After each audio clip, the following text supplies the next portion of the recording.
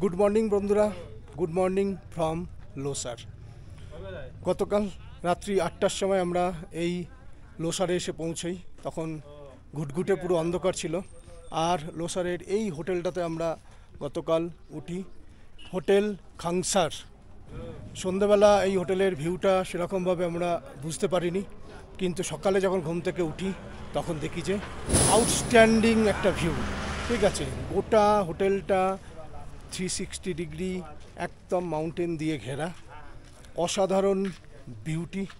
আর শুধু এই হোটেলটাই নয় অ্যাকচুয়ালি গোটা লোজার ভিলেজটাই পুরো ছবির মতো সুন্দর সাজানো একটা ভিলেজ।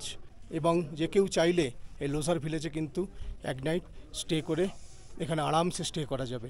কিন্তু একটাই সমস্যা যে অক্টোবরের মিডিল থেকে যে উইন্টার স্পিতি শুরু হয়ে যাবে স্পিতিতে উইন্টার শুরু হয়ে যাবে এই ম্যাক্সিমাম হোটেল কিন্তু বন্ধ হয়ে যাবে।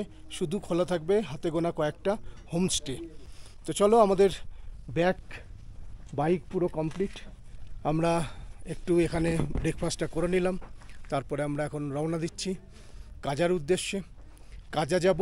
প্রথমে নাকি আমরা চিচেম ভিলেজ কি এবং কিব্বের হয়ে আমরা কাজা ঢুকবো, সেটা আমরা পথে ডিসাইড করব। সব কিছু ডিপেন্ড করছে গাড়িতে কতটা ফুয়েল আছে তার উপরে। এখনও গাড়ি রিজার্ভে যায়নি। যদি আর খানিকটা পরে রিজার্ভে না যায়, তাহলে আমরা আগে চিচেম কিব্বের কি করে তারপরে আমরা কাজাতে ঢুকবো। তো চলো আর ওয়েট না করে শুরু করি আমাদের আজকের শুভযাত্রা। লেট স্টার্ট মা দুর্গার নাম করে আজকের জার্নি আমরা শুরু করছি। আজকের সবথেকে বেশি প্লাস পয়েন্ট যেটা আমাদের ক্ষেত্রে প্রযোজ্য হবে, সেটা হচ্ছে আজকে থেকে আমরা আর অফরোড পাবো না, আমরা পুরো এরকম পিচ রাস্তা পাবো। যা অফরোড আছে, অটল টানেল ক্রস করার পর শুরু হবে, আর সেটাই লোসারে এসে শেষ হবে। এরপর টারম্যাক রোড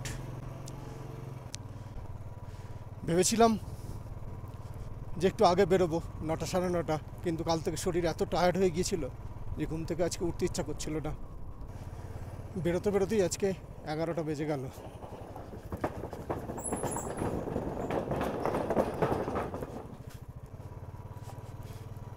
স্পিতির ভিউ নিয়ে কোনো কথা হবে না। পুরো থ্রি সিক্সটি ডিগ্রি ভিউ সামনে, পিছনে, ডান দিকে, বাঁ দিকে, যেদিকেই তাকাবো, শুধু ভিউ ভিউ আর ভিউ আর আমার লেফট সাইডে দেখা যাচ্ছে লোসার ভিলেজ ছবির মতো সুন্দর, সাজানো।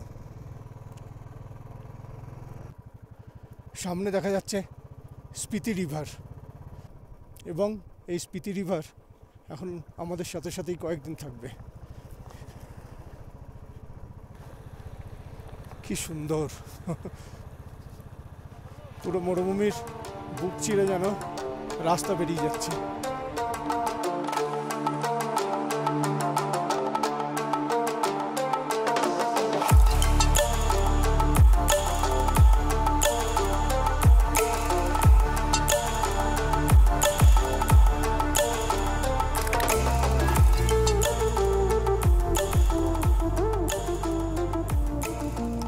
পাহাড়ের কত রকম রং এখানে?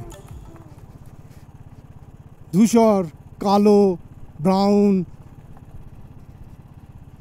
আর ওই পাহাড়ের গায়ে যে ঘাসগুলো দেখা যাচ্ছে, ঘাস নয়, ওটা হয়তো মেবি কোনো কাঁটা জাতীয় গাছ হবে। কি গাছের নাম জানি না। ওরও কত রকম কালার একটা গাছের মধ্যে। অ্যামেজিং বিউটি পুরো মরুভূমির মধ্যে মনে হচ্ছে যেন একটা জান্নাত বসিয়ে দিয়েছে। এই যে পাহাড়ের বিক্ষিপ্ত যে স্ট্রাকচার এটা উইন্ড ডিরোশনের জন্য হয়েছে। এখানে হাওয়ার গতিবেগ এত বেশি, আমরা যেখানে যাচ্ছি চিচেম ব্রিজে এত জোরে হাওয়া দেয়, যে আমি কথা বললে সেটা হয়তো আমার তিন চার ফুট দূরে দাঁড়িয়ে থাকা লোক শুনতে পাবে না। মনে হচ্ছে যেন কোনো অচিন দেশে চলে এসেছি। গাছের কালার কম্বিনেশনগুলো দেখো খালি। কি লাগছে? অসাধারণ।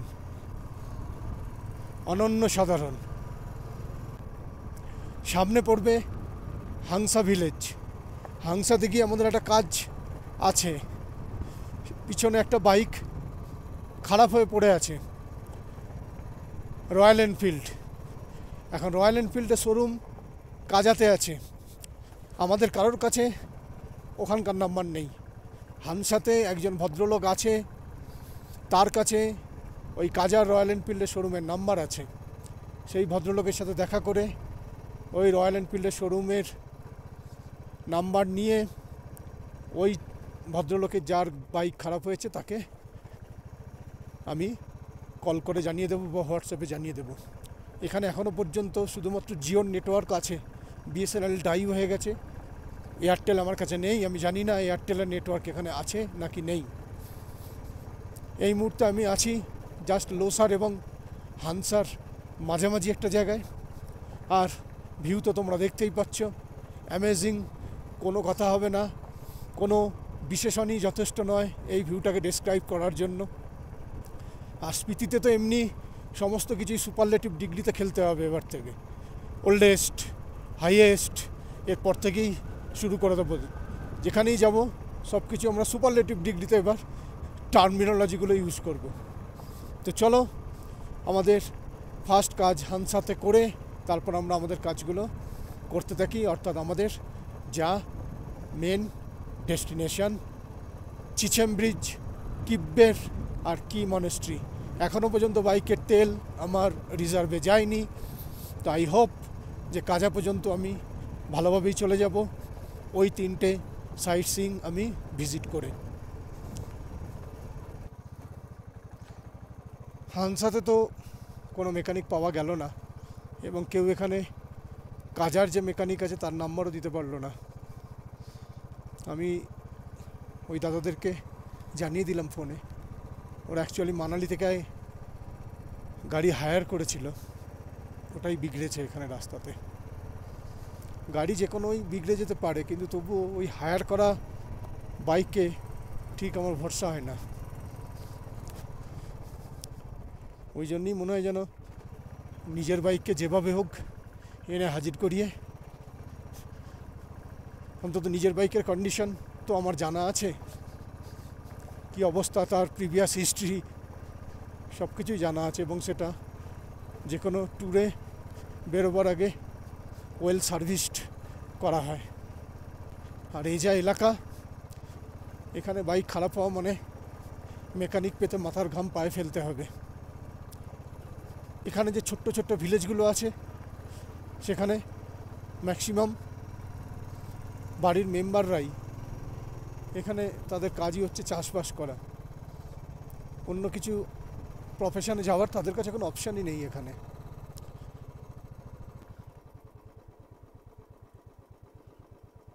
এই মুহূর্তে আমরা দাঁড়িয়ে আছি একটা জাংশন পয়েন্টে আমরা এসছি এই দিক দিয়ে, লোসার হয়ে অ্যাকচুয়ালি এই রাস্তাটা চলে যাচ্ছে কাজার দিকে। লোসার থেকে কাজা ডিরেক্ট চলে গেলে এই রাস্তা দিয়ে কাজা পৌঁছে যাবে। আমরা যাচ্ছি লোসার থেকে এসে সোজা এই রাস্তাতে কিব্বের ভিলেজে এখানেই পড়বে আগে চিচেম ব্রিজ তারপরে কিব্বের ভিলেজ তারপর কি মনেস্ট্রি হয়ে সেটা আবার এই কাজার রোডের সাথেই ওখানে মিশবে। তো চলো, তাহলে যাওয়া যাক।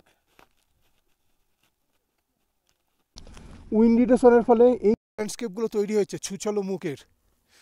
এই ল্যান্ডস্কেপগুলোর গুরুত্ব কিন্তু স্পিতি ভ্যালিতে অনেক বেশি। আমরা পরবর্তীকালে যখন ধানকার মনেস্ট্রি যাব, তখন দেখব যে এই ধরনের ল্যান্ডস্কেপের জন্যই কিন্তু ধনকর যে মনেস্ট্রি মানে ধনকর যে সাম্রাজ্য অ্যাকচুয়ালি গড়ে উঠেছিল, শুধুমাত্র এই ল্যান্ডস্কেপের উপর ভরসা করে। এবং এই ল্যান্ডস্কেপের মাথাতে ছিল ধনকর মনেস্ট্রি যেটা আমরা পরে দেখব। এবং সেটাই তাকে বহিঃশত্রুর আক্রমণ থেকে রক্ষা করেছিল। তো চলো ধনকরের কথা পরে হবে। এখন আমরা যাই আমাদের বহু প্রতীক্ষিত একটা জায়গা। যার জন্য অনেক অনেক অনেক দিন ধরে আমি ওয়েট করেছিলাম। আর শুধু ভিডিও দেখে নিজের আশা মেটাতাম সেটা হচ্ছে চিচেম ব্রিজ। ওই যে রাস্তাটা যাচ্ছে, ওটাই কাজার রাস্তা। আর এইদের দুজনকে সেপারেট করেছে বিউটিফুল স্পিতি রিভার ওইখানে নদীটা কীভাবে বেন্ট হয়েছে দেখুন। দারুণ দেখতে লাগছে। এত উঁচুতে, প্রায় তেরো হাজার ফুট উঁচু এটা। এত উঁচুতে, এত সুন্দর রাস্তা মানে কল্পনারও বাইরে। এই এলাকাটা দেখো, কতটা চওড়া। আর কি সুন্দর রিভারটা এঁকে বেঁকে যাচ্ছে। একদম নিয়ম শৃঙ্খলা পরায়ণ হয়ে সে প্রবাহিত হচ্ছে। অ্যামেজিং ভিউ ওয়াও চোখ সরাতে ইচ্ছা করছে না। কি সুন্দর রাস্তা। কি সুন্দর দেখতে লাগছে। দূরের ওই ল্যান্ডস্কেপগুলো দেখো। কত সুন্দর সিস্টেমেটিক ওয়েটে তৈরি হয়েছে। হাওয়াও এখানে সিস্টেম মেনটেন করে প্রবাহিত হয়। কি বিশাল বিশাল ল্যান্ডস্কেপ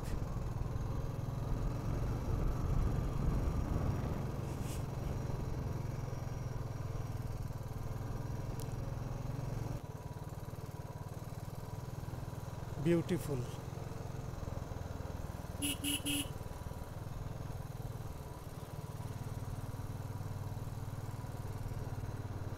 বিউটিফুল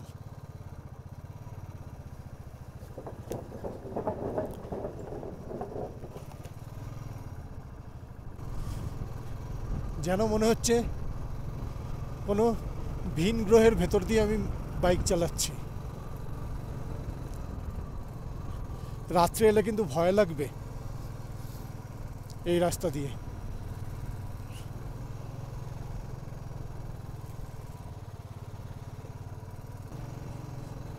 অ্যাকচুয়ালি অনেকেই বলে যে এই অক্টোবর মাস বা সেপ্টেম্বর মাস স্পিতির অনেক কালার দেখা যায়। অর্থাৎ এই সময় কালারফুল স্পিতিকে দেখতে পাওয়া যায়। এরপরেই উইন্টার স্পিতি শুরু হয়ে যাবে অল হোয়াইট হয়ে যাবে। ক্যামেরা বন্ধ করতে এখানে মনই চাইছে না। চিচেম বিচ, তেরো কিলোমিটার কিব্বের উনিশ কিলোমিটার।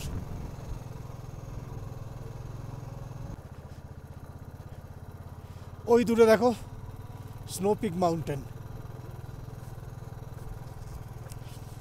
চিচেমার আট কিলোমিটার। এখনও পর্যন্ত স্পিতি ভ্যালিতে ঢুকে আমাদের স্নো পিক মাউন্টেন দেখার সৌভাগ্য বিশেষ হয়নি। অ্যাকচুয়ালি স্নো পিক মাউন্টেন দেখতে গেলে আসতে হবে এখানে এপ্রিল মে মাসে। যখন উইন্টার স্মৃতি জাস্ট শেষ হয়। বাট যেটা দেখছি অ্যামেজিং এই রাস্তায় কেউ নেই, জনপ্রাণী নেই, খুব নগণ্য। একটা দুটো হাতে গোনা বাইক চলছে। হাতে গোনা একটা দুটো গাড়ি চলছে। কিন্তু বাইক চালাতে এখানে একটু একঘেয়েমি লাগবে না। একদমই মনে হবে না যে কেউ নেই, আমি একা আছি। একদম বিন্দুমাত্র মনে আসবে না। এই জায়গার বিশেষত্ব এটাই, পুরো টেনে ধরে রাখবে একদম। ওপরে স্নো পিক মাউন্টেন আর দূরে ওই দেখা যায় চিচেম ব্রিজ আর দু কিলোমিটার। এক্সাইটমেন্ট ধরে রাখা একদম মুশকিল হয়ে যাচ্ছে আমার পক্ষে। এইসব এক সময় ড্রিম ছিল ড্রিম শুধু স্বপ্ন দেখতাম কবে বাইকটা নিয়ে বেরোবো আর এই স্পিতি ভ্যালিকে চষে বেড়াবো। আজকে ড্রিমটা পার্সিয়ালি ট্রু হতে যাচ্ছে। যখন সিমলা দিয়ে বেরোবো পুরো সার্কিটটা কমপ্লিট করে, তখন বলব যে আমার ড্রিম পুরোপুরি কমপ্লিট অন্তত স্পিতি রাইড নিয়ে।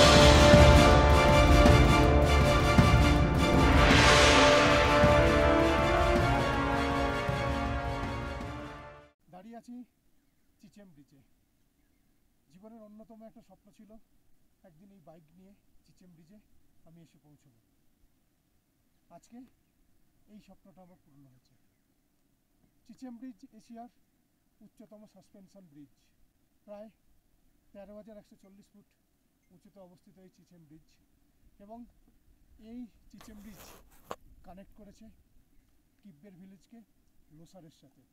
ফলে কাজার যে কমিউনিকেশান পুরো স্পিতি ভ্যালির যে কমিউনিকেশান সেই কমিউনিকেশানটা পূর্ণ হয়েছে কিন্তু এই চিচেম ব্রিজের তৈরির ফলে। এই চিচেম ব্রিজটা তৈরি করতে সময় লেগেছে প্রায় পনেরো বছর। দু সালে এর ইনাগুরেশন হয়েছিল এবং দু হাজার সতেরো সালে এই চিচেম ব্রিজটা কমপ্লিট হয়েছে। এই ব্রিজটার যদি আমরা নিচের দিকে তাকাই, তাহলে দেখব যে এই ব্রিজের নিচে আছে হাজার ফুট গভীর গর্জ। দেখলেই এখান থেকে এটা ভয় করে।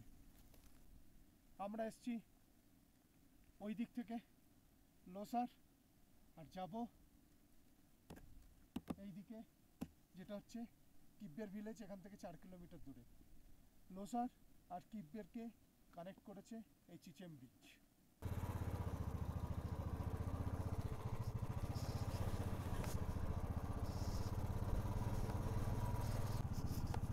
এখন আমরা চিচেম ব্রিজের এই পাশে আসছি। যাব কিব্বের, এখান থেকে দূরত্ব চার কিলোমিটার।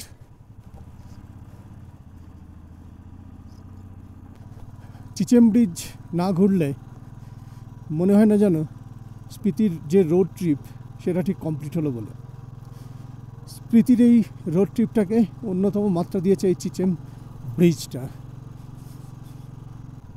স্পিতি ভ্যালির এই যে গ্রামগুলো ছবির মতো সাজানো, বাঁধানো একদম পুরো। অত্যন্ত অল্প জনবসতি, অত্যন্ত লিমিটেড এদের রিসোর্স অফ ইনকাম কিন্তু they are happy welcome to Kibber village the all white village of Spiti valley আমার পিছনেই দেখতে পাচ্ছেন কিব্বের ভিলেজ এই ভিলেজের বিশেষত্বটা দেখুন, সব বাড়ি একই রকম দেখতে এবং সবকটা বাড়ির রঙই হচ্ছে সাদা। এই জন্য কিব্বের ভিলেজকে অল হোয়াইট ভিলেজ বলা হয়। একটু কিব্বের ভিলেজটাকে দেখে নিন, একটু দূর থেকে। তারপর আমরা চেষ্টা করব ভিলেজের ভিতরে যেতে।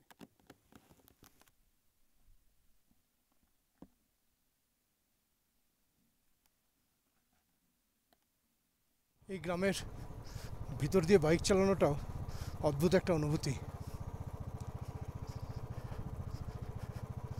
অসম্ভব সুন্দর জুলে মনেস্ট্রি কিধার है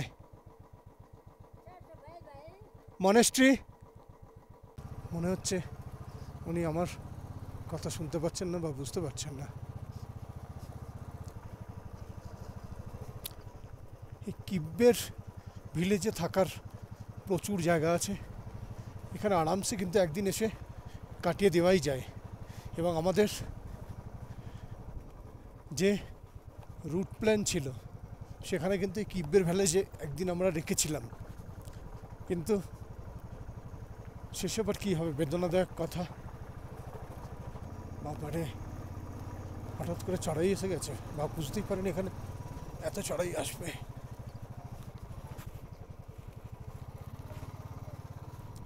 এবার যাচ্ছি আমরা কি মনেস্ট্রি সূর্যের তেজ অত্যন্ত প্রখর। ঠোঁটের অবস্থা ভীষণ খারাপ। পুরো ফেটে আছে ঠোঁট একদম। বোরোলিন ফোরোলিন কোনো কাজ দিচ্ছে না এখানে। কত কিছু মেখে ফেললাম সকাল থেকে। বোরোলিন, ময়শ্চারাইজার সব লিপ বাম সব অচল, সব বেকার। আনন্দের বিষয় যেটা, আমার বাইকের ফুয়েল এখনও রিজার্ভেই যায়নি। বুঝতে পারছি না বিষয়টা কি অ্যাকচুয়ালি হলো। তার উপর আমি তো আবার চন্দ্রতাল করেছি। মানে এক্সট্রা আঠেরো আঠেরো, ছত্রিশ কিলোমিটার। খুব ভয় ভয় ছিলাম যে হয়তো কাজাতে গিয়ে ফুয়েল আপ করিয়ে তারপর আমাকে এই কিব্বের কি মনস্ট্রি করতে হবে। অ্যাকচুয়ালি আমার ট্যুর প্ল্যান এটা কাজা থেকেই ছিল। কিন্তু যেহেতু লোজারে থেকে গেছি, সেই জন্য লোজার থেকেই এখানে একটা ডাইভারশন আছে।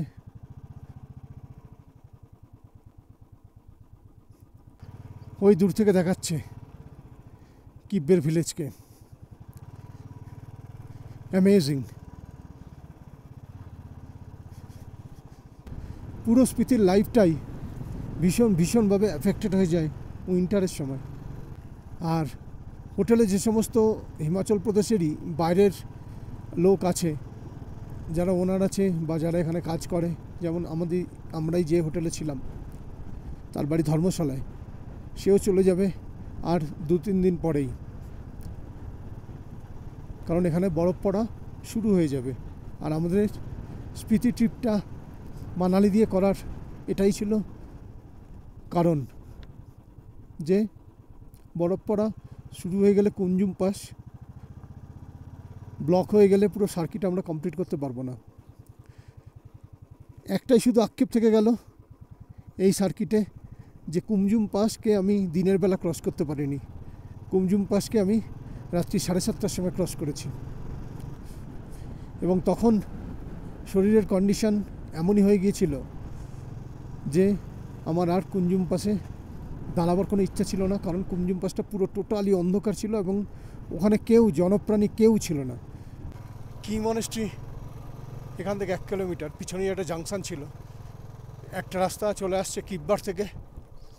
এসে দুদিকে চলে যাচ্ছে। একটা হচ্ছে কাজার দিকে আর একটা হচ্ছে এই কি মনস্ট্রির দিকে। দূর থেকেই দেখা যাচ্ছে কি মনস্ট্রির ঝলক। অ্যামেজিং এই কি মনস্ট্রি হচ্ছে এই স্পিতি ভ্যালির সব থেকে বড় মনস্ট্রি ওয়েলকাম টু কি মনাস্ট্রি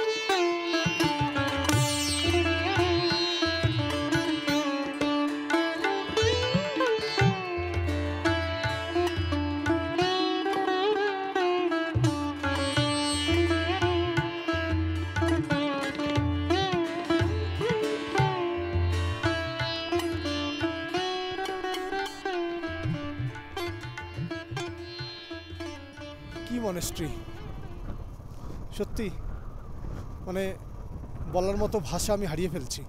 আধ ঘণ্টা আমি একটা বুদ্ধিস্ট মঙ্কের সাথে বসেছিলাম। মানে কি জীবন দর্শন ওদের। কি সুন্দর দৃষ্টিভঙ্গি ওনাদের। মানে আমি যেন কতদিনের চেনা, কত কিছু জানলাম, কত কিছু ইনফরমেশন ওনারা তুলে দিলেন। দুশো মংস আছে এখন, এবং একদম শিশু থেকে মানে পাঁচ, ছ বছর হয়ে গেলেই আশপাশের গ্রাম থেকে মূলত পড়াশোনার জন্য এখানে পাঠিয়ে দেয় বাড়ির লোকেরা। তারা এখানে স্টাডি করে, এখানেই আনন্দ করে, এখানেই খেলাধুলা করে, এখানেই সব সমস্ত কিছু করে। এবং সবথেকে বড় যেটা ইনফরমেশন এখানে যারা বুদ্ধিস্ট মংস যারা আছেন, তাদের ডিউটি স্পেসিফিক করে দেওয়া আছে। এই যেমন যে দুজন বুদ্ধিস্ট মংস ওনাদের কিচেনে বসেছিলেন। কিচেন বলা ভুল মানে একটা বড় ঘর, যেখানে অনেক ইউটেন্সিলস আছে এবং সেটা শুধু, সেই ঘরটা শুধু ইউজ হয়। যারা, আমাদের মতো যারা ওখানে ভিজিটার্স যারা ভিজিট করি, সেই ভিজিটার্সদের শুধু চা তৈরি করে দেওয়ার জন্য। এবং প্রসাদ তৈরি, প্রসাদ বিতরণ করার জন্য শুধু ওটা। এবং চায়ের কি অদ্ভুত টেস্ট হার্বাল টি আমি ওখানে ঢুকতেই আমাকে অফার করা হলো। অফার করা হলো এত সুন্দর চায়ের ফ্লেভার এত সুন্দর তার টেস্ট মানে ভাষায় বোঝানো যাবে না। তারপরে ওনারা অর্ডার করলে, ওনারাই অফার করলেন আবার যে আপনারা, আপনি একটু বাটার টি খান। বাটার টিও আমরা খেলাম। দারুণ! দারুণ তার টেস্ট মুখে লেগে আছে একদম। এবং যেটা গুরুত্বপূর্ণ ওনারা কথা একটা বললেন, সেটা হচ্ছে ওই- যে দুজন মংস থাকে, সেরকম প্রত্যেক বছর এরকম দু দুজন দুজন করে মংসের ডিউটি ফিক্সড করে দেওয়া হয় মনেস্ট্রির তরফ থেকে, শুধুমাত্র ভিজিটার্সদের সেবা করার জন্য, তাদের আপ্যায়ন করার জন্য। এবং আপ্যায়নের কি ভঙ্গিমা কি মানে মার্জিত ভঙ্গি? করে যেন যেন মানে আমি গিয়ে ওদের কোনো উপকার করে দিয়েছি। মানে অ্যাকচুয়ালি বুদ্ধ ধর্মের নলেজটাই তো এরকম। শিক্ষা একেই বোধহয় বলে। কেমন যেন একটু ইমোশনাল হয়ে গেছি ওখান থেকে বেরিয়ে। মানে কোথায় আমরা পড়ে আছি, আমাদের মানসিকতা কোথায়? লাইফ প্রকৃতির সাথে, প্রকৃতির মাঝে আসল লাইফ তো এরাই লিড করছে। কি পেশেন্স তাদের। এবং কথাবার্তার ভঙ্গিমা আপনাকে ওদের কাছে নতমস্তক করে রাখতে বাধ্য করে দেবে। আপনারা কাজা এলে অবশ্যই যতই আপনাদের সময় কম থাকুক, অন্যান্য স্পটকে যদি ছেড়েও দিতে হয়, তাও ছেড়ে দেবেন। কিন্তু একবার হলেও কি মনস্ট্রিতে এক ঘণ্টা একটু সময় কাটিয়ে যাবেন? ওই ওই যে কিচেন সেন্টার, কিচেন আমি বারবার বলছি, ওনারা কিচেনে ডাকে বলছেন না কিচেন অন্য জায়গায় আছে, যেখানে ওনারা, ওনাদের ভাষায় যে আপ্যায়ন ওনারা করেন, সেখানে একটু বসবেন এক ঘণ্টা। তারপর বুঝে যাবেন যে জীবন দর্শনটা ওদের কি, আর আমাদের জীবন দর্শনটা ওদের তুলনায় কোন জায়গায় আছে। ডেস্টিনেশন এখন কাজা। আমার ড্রিম ডেস্টিনেশন একটা, যে কাজাতে আমি একটা রাই, একটা রাত্রি আমি স্পেন্ড করতে চাই। কাজাতে আমি একটু পায়ে হেঁটে ঘুরতে চাই। এটা আমার অন্যতম একটা ড্রিম ছিল জীবনের। শুধু এই রাস্তাটাকে দেখুন। অসাধারণ amazing road now this is called the beauty the beauty on the edge of the earth amazing view Kaza দশ কিলোমিটার। আজকে আমরা একদম ধীরে ধীরে রিল্যাক্স করে বাইক চালাচ্ছি। ঠিক যেভাবে আমরা এই স্পিতি রাইডটা করতে চেয়েছিলাম, ঠিক সেরকমভাবে বাইক চালাচ্ছি। কোনো তাড়াহুড়ো নেই, কোনো হরবরি নেই, মাত্র আজকের জার্নি ছিল তেষট্টি কিলোমিটারের জার্নি বা মোস্ট প্রবাবলি উনসত্তর কিলোমিটারের জার্নি এবং আমরা সকাল সাড়ে দশটা, পৌনে এগারোটায় আমরা বেরিয়েছি। এখন কটা বাজে বুঝতে পারছি না। মোস্ট প্রবাবলি চারটে, সাড়ে চারটে বাজে এরকম হয়তো। মানে এই উনসত্তর কিলোমিটারটা কভার করতে আমরা প্রায় সাত আট ঘণ্টা লাগিয়ে দিয়েছি। তো বোঝাই যাচ্ছে কতটা রিল্যাক্স হয়ে আমরা আজকে গাড়ি চালিয়েছি। আকাশের খালি কালার দেখো। মানে আকাশের রং নীল, বইয়ে যে পড়েছিলাম, সেটা ভ্যালিতে এসেই বোঝে যাচ্ছে। এই তো petrol pump.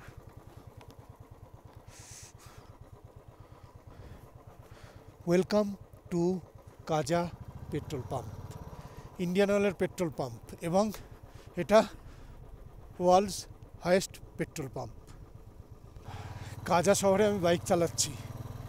ভাবা যায়? কাজার পেট্রোল পাম্প থেকে আমার গাড়ির তে আমি পেট্রোল ভরছি। ভাবা যায়? Block development officer Spiti at Kaza বাবা এখানেও বিডিও অফিস আছে মাইডি ঘুরেই যাচ্ছি। হোটেল কোথাও পাচ্ছি না। ম্যাক্সিমাম হোটেল এখানে বন্ধ হয়ে পড়ে আছে মেবি ঠান্ডার জন্য। লোসার থেকে বেরিয়ে, চেচেম, কিব্বের কি মনেস্ট্রি ঘুরে আমরা প্রায় পাঁচটা, সোয়া পাঁচটা নাগাদ কাজা এসে পৌঁছাই এবং অনেক হোটেল খোঁজাখুঁজির পরে আমরা এই হোটেলটাতে আমরা রাত্রিটা স্টে করলাম। কালকে সকালেই আবার আমাদেরকে বেরিয়ে যেতে হবে। তো ভীষণ একটা সুন্দর দিন আজকে গেল। অনেক রিল্যাক্সে আমরা আজকে জার্নি করেছি। কোনো তাড়াহুড়ো আমাদের ছিল না। আশা করি এই ভিডিওটা তোমাদের ভালো লেগেছে। যদি ভিডিওটা ভালো লেগে থাকে অবশ্যই লাইক শেয়ার আর সাবস্ক্রাইব বোতাম বোতামটা টিপতে একদমই ভুলবে না। দেখা হচ্ছে কালকে।